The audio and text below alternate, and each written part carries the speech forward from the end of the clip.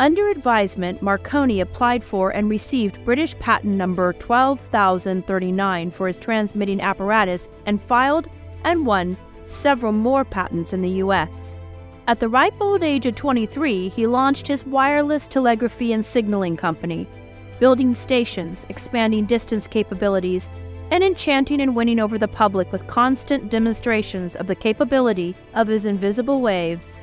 By the turn of the 20th century, Marconi had traveled to America to demonstrate his wireless there and had launched the American Marconi Company. In January of 1903, after Marconi had sent the first transatlantic message the month before, Theodore Roosevelt messaged his regards to King Edward VII via Marconi's wireless. The world was quickly changing before the eyes of the Edwardians, who were walking a tightrope between the comfortably familiar old ways and a shining technology filled future.